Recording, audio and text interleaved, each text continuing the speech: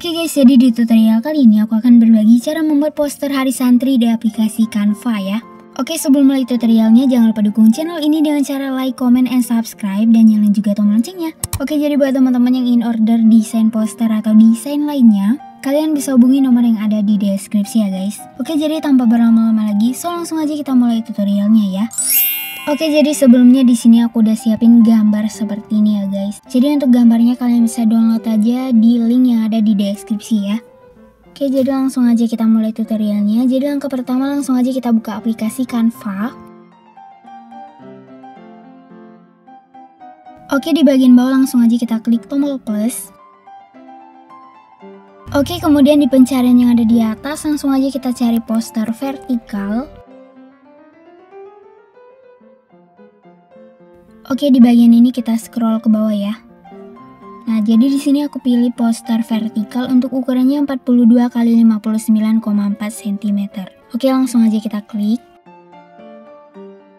Nah, jadi seperti ini ukurannya ya. Oke, jadi di bagian bawah langsung aja kita pilih elemen. Terus kemudian di pencarian elemen yang ada di atas, langsung aja kita cari masjid.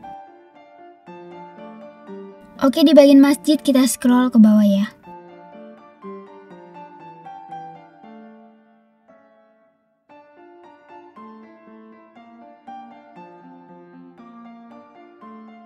Nah, jadi kita pilih gambar yang ini ya guys. Oke, langsung aja kita klik.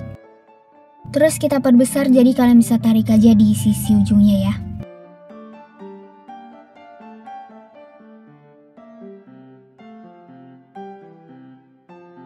Oke, kemudian untuk elemen yang ini kita atur filternya. Jadi langsung aja kita klik. Terus di bagian bawah kalian geser, kemudian pilih filter. Oke, kemudian di bagian bawah ini kalian geser. Terus kalian pilih yang di bagian hangat ya guys. Oke di bagian hangat ini kalian geser terus kalian pilih filter sangri ya. Nah jadi kira-kira seperti ini warnanya ya. Oke jadi kira-kira seperti ini ya guys. Oke guys jadi untuk langkah selanjutnya di bagian bawah kita pilih elemen lagi. Terus kemudian di sini masih di bagian masjid ya. Jadi kita pilih elemen yang ini langsung aja kita klik. Terus kita perbesar jadi kalian bisa tarik aja di sisi ujungnya ya. Oke langsung aja kita atur. Oke jadi kira-kira seperti ini. Kemudian yang ini kita ganti juga filternya. Jadi bagian bawah kanan geser Kemudian pilih filter. Oke di bagian filter ini Di bagian bawah kalian geser Kemudian kalian pilih yang di bagian semburat warna ya. Oke yang di bagian semburat warna kalian geser Terus kalian pilih poster ya guys. Nah jadi seperti ini ya Oke, jadi seperti ini ya. Jadi ini bisa juga tidak diatur filternya ya guys. Jadi sesuaiin aja ya. Oke, kemudian di sini langkah selanjutnya di bagian bawah kita pilih elemen lagi. Terus di pencarian elemen yang ada di atas, langsung aja kita cari lantai. Oke, di bagian lantai kita scroll ke bawah. Terus kita pilih elemen yang ini ya. Oke, langsung aja kita klik. Terus kita atur di bagian bawah. Oke, jadi untuk langkah selanjutnya di bagian bawah kita pilih elemen lagi. Terus di pencarian elemen yang ada di atas langsung aja kita cari bayangan. Oke, kita scroll ke bawah ya guys. Nah, jadi kita pilih yang ini ya. Oke, langsung aja kita klik. Terus kita atur di bagian bawah. Oke, jadi seperti ini ya.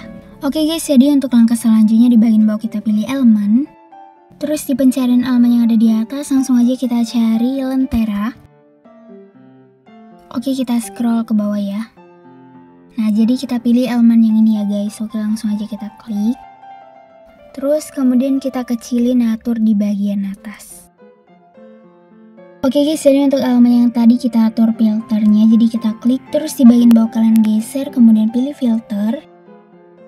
Oke, kemudian di bagian filter kalian geser, kemudian pilih yang di bagian semburat warna ya.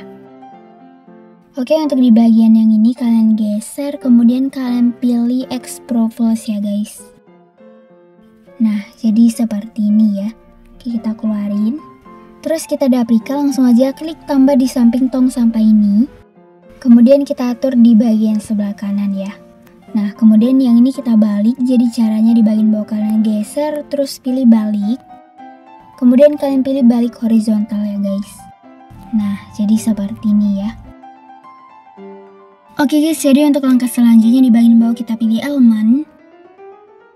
Terus kemudian di pencarian elemen yang ada di atas, langsung aja kita cari cahaya. Oke, di bagian cahaya ini kita scroll ke bawah ya. Nah, jadi kita pilih elemen yang ini ya guys. Langsung aja kita klik.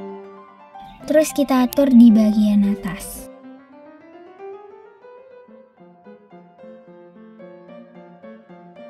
Oke, jadi langkah selanjutnya di bagian bawah kita pilih elemen.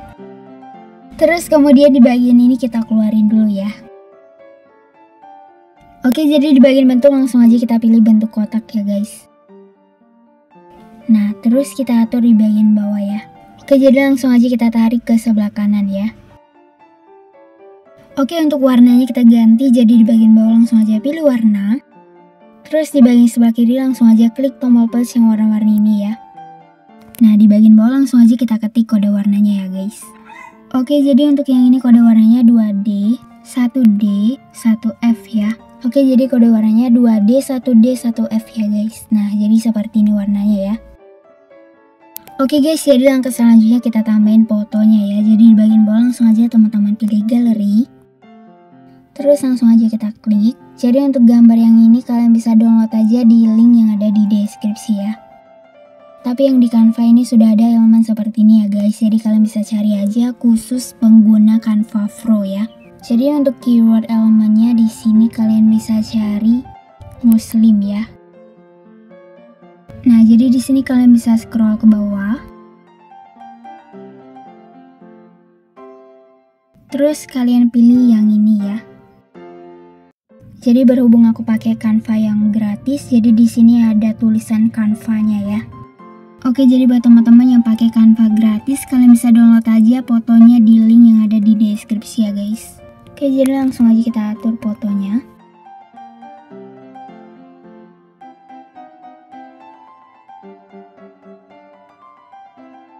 Jadi seperti ini ya guys. Oke, kemudian langkah selanjutnya kita tinggal tambahin tulisannya. Jadi caranya di sini di bagian bawah langsung aja pilih teks. Oke, langsung aja tambahkan judul. Nah, yang ini langsung aja teman-teman ketik tulisannya ya. Oke, jadi kita kecilin, kita atur di bagian atas. Terus kemudian warnanya kita ganti jadi di bagian bawah kalian geser, kemudian pilih warna, terus kalian geser, kemudian pilih warna putih ya.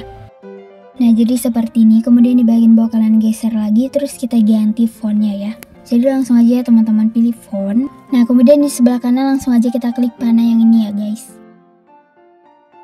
Oke, kemudian di pencarian font di sini langsung aja teman-teman cari Arsipo Black.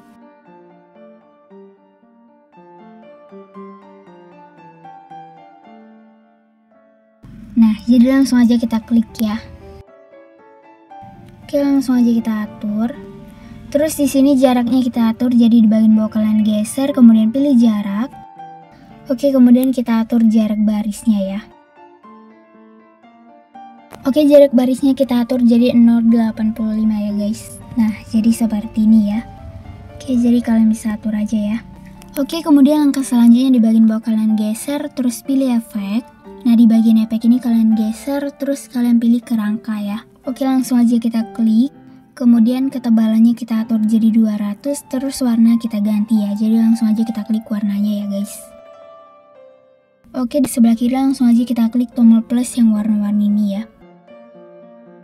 Nah di bagian bawah langsung aja kita ketik kode warnanya ya. Oke jadi untuk yang ini kode warnanya 59 42 45 ya. Oke jadi kode warnanya 59 42 45 ya guys. Nah, jadi seperti ini warnanya ya. Terus kemudian tulisannya kita dapatkan, langsung aja klik tambah di samping tong sampah ini. Terus kita atur di bagian bawah, kemudian kita ganti tulisannya jadi hari santri.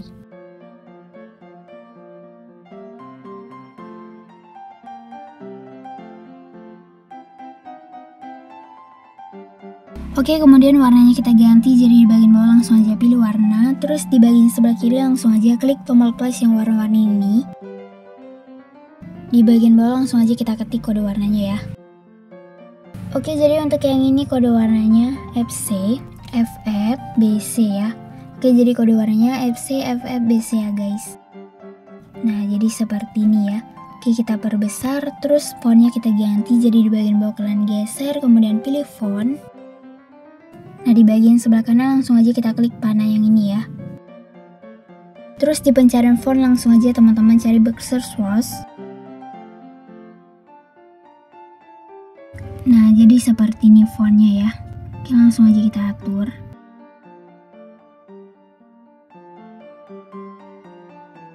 Nah, jadi seperti ini hasilnya ya guys. Jadi untuk di bagian bawahnya ini kalian bisa isi dengan nama sosial media kalian ya. Oke, jika udah selesai langsung aja kita simpan. Caranya langsung aja klik panah yang ada di pojok kanan atas.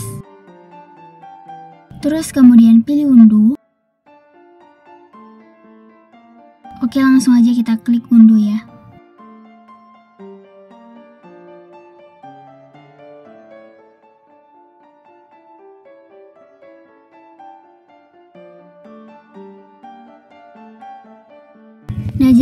Tersimpan di galeri ya guys Jadi seperti ini hasilnya ya.